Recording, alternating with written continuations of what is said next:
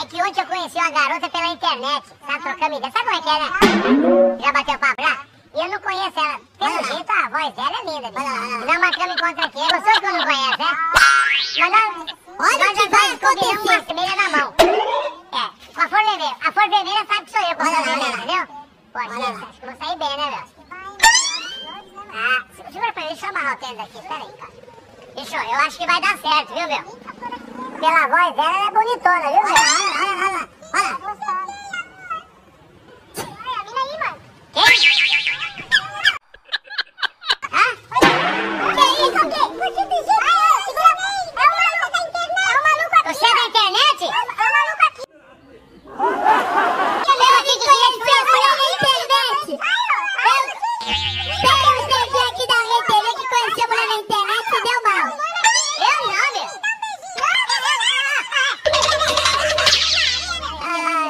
Ah, participa com a mulher. Bem bolada que pegadinha, bem mas- No viado mostrou, ele falou, não, eu quero fazer surpresa pra você. Olha lá.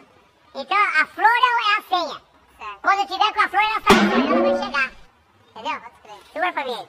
Ó, deixa só pra amarrar aqui. Rapaz, mas eu tô empolgado, viu, meu? Pela voz, ela é uma gata, viu? Deve ser